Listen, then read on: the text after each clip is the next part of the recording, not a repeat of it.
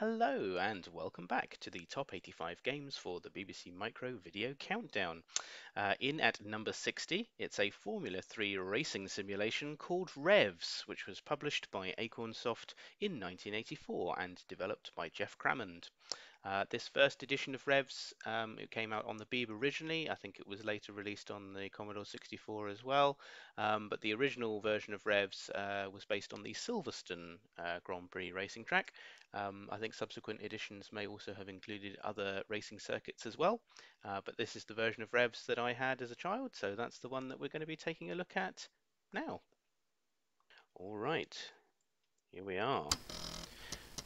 So Acornsoft Revs. Um, here, here, are the instructions here. So you have controls over obviously your steering, your throttle, your brake, your starter, uh, and you can control your gears going up and down. Um, now there's a lot of information about uh, how Formula 3 works and you know, information about rev counters, etc., etc. But we're just going to skip through all of that. Um, I would like to say it's because I know how to play the game, but as you, shall, as you shall quickly appreciate, um, that's not the case at all. Uh, it's just that I don't really want to spend the video looking through pages of instructions. Right, we're going to go with the practice run. Um, and now these settings, uh, I'm just basing this on what it says as a suggestion at the beginning. I have no idea what any of this means.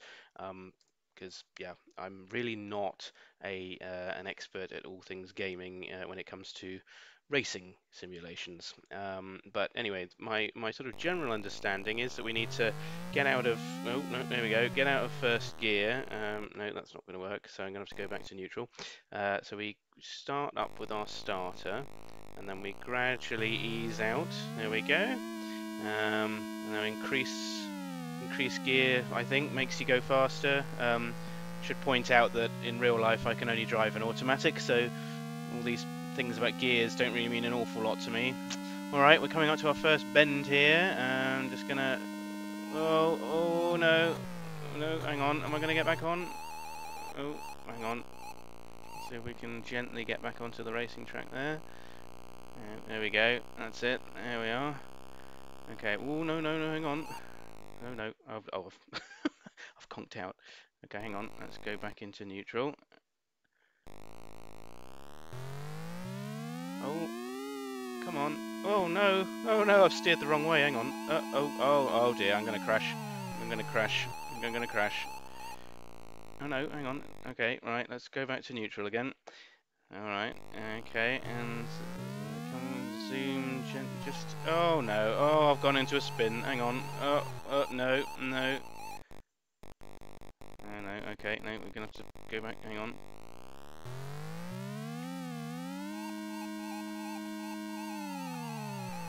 I think there's uh, some information in the instructions about how you're how you're supposed to be able to get back onto. Oh no! Okay, I'm just going to zoom off into the distance now. There we go. Crash. so yes, um, this is mainly the reason why I have to say I've brought the game in as low as I have because I, I appreciate that there are plenty of Revs fans out there, um, and that you know I mean let's face it, it's an amazing game for a BBC Micro. No no question at all about that. I mean it's a three-dimensional racing simulation it's uh, it, you know really really sort of pushing the Beeb to its limits. Um, but the problem, unfortunately, that I have is that I just I'm just really no good at racing games at all. And the more realistic they are, unfortunately, um, the the worse I am at them because I just don't really know what I'm supposed to do. Um, and uh, given that this is obviously not intended to be any kind of um, authoritative listing of BBC Micro games. It's just my personal opinion. Um, yeah, I, I, I, couldn't really bring it in much higher than 60 because I, I, I just don't get on with it very well. Uh, I, I, you know, I tend to spend most of the game doing that. Um, which, you know, and this is only in the practice mode. I'm not even up against other drivers at this point. Um, and yeah, my, my total lack of understanding about how, how the gears work probably doesn't help. Um, so yeah, I, I mean, I, I, imagine that you're probably not meant to spend the entire game going around in first gear. Um, but yeah, I, for me it's a challenge enough just to stay on the racing track. To be honest with you. Um, so yeah, it, it's um, I like I say, I, I imagine I've probably upset some people uh, bringing revs in at uh, number 60. I think I think a lot of people have it in their top 10 games uh, for the micro and I, you know, I get that. I really, I, you know, I, I don't, um, I don't think they're wrong to hold it in such high esteem because it's a very intelligent, uh, well thought through, very well programmed game. Absolutely wouldn't take any of that away from it. Um, but as I say, if you're not a racing fan, or indeed if you can't even drive a car with gears, uh, or sorry, a manual a controlled car, then it's a bit of a it's a bit of a steep um, learning curve to really be able to play the game with anything approaching um, ability uh, or, or, indeed interest. I mean, I think, as I say, the problem I have is that I, I just don't really enjoy it very much. Um, you know, and I think ultimately a game is supposed to be something that you enjoy playing and not, not be too much of a, a struggle to uh, to get on with. Um, and as I say, with revs, I, you know, I can I can completely appreciate the aesthetic of it, uh, the coding ability. Uh, as I was saying in the introduction, you know, hiding hiding some of the code in in the screen memory up in the sky there with blue pixels. Very very clever stuff. Um, so you know, Geoff Crammond is a, an, an, absolute uh, genius as far as I'm concerned, to have to have come up with that. Um, but yeah, I mean, oh no, there we go again. Yeah, it, it's just it's just too difficult for me. Uh, you know, bear of little brain that I am when it comes to racing games. Um, I just can't, I just can't really get on with it. Um, you know, I don't I don't really know what I'm supposed to be doing half the time, and, and even getting the the thing to start at the beginning is is somewhat uh, somewhat frustrating. I mean, like if I put it up into fifth gear, does that does that help? Do you think is that is that gonna make things better? Um, now I've seen you know forum posts on places like Stardot forums where people compare their best lap times and you know what what front and rear what they called? Flaps are they? Settings? Uh, you know and how how how uh, oh wings sorry not flaps that's, that's an aeroplane. Uh, yeah and how how they sort of compete to you know get better and better at it but oh goodness me for me it's um, yeah, it's just not happening really. So okay, so what I'm going to do is uh, I'm going to just um, come out a second, uh, and we're going to load up, um, and just just so you can see what the uh, competition mode looks like, because um, obviously I've only been playing it in practice mode up to now. Uh, so we'll go into competition mode, just so you can see the difference, because um, obviously in competition mode you're actually racing against uh, other other uh, AI drivers. So we'll set the uh, rear and front wings as before. And uh, yes, let's see if we can maybe maybe make a make a bit of an impact on competition mode. I doubt it. I suspect all it's going to do is introduce additional uh, obstacles for me in the form of other drivers. But uh, you know, we'll, we'll do our best. I am sure that there are people watching this video who are very good at driving games, or indeed driving generally, and probably think, what on earth is he doing in first gear? Um, I mean, I can tell just from the noise of the engine there that that's probably not where I should be. Um, but, yeah, I, unfortunately for me... Uh, oh dear, oh dear, oh dear.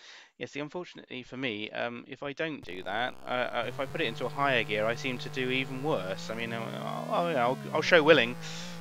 But uh, when I get up into sort of the likes of fifth gear, I, I tend to find that it goes so fast that I can't uh, I can't even keep it on the on the road, which is half the struggle for me with playing revs. It's uh, just keep the vehicle on the road. You know, I, I don't mind coming in last uh, if if it means that I've actually you know stayed on on the track. Um, ooh, well, I actually managed to get around a, a bend there. Um, yeah, so I mean, as I say, this is obviously a very good game, and um, you know its position at number 60 is entirely a reflection of my personal feelings towards the game as someone that isn't really into driving games.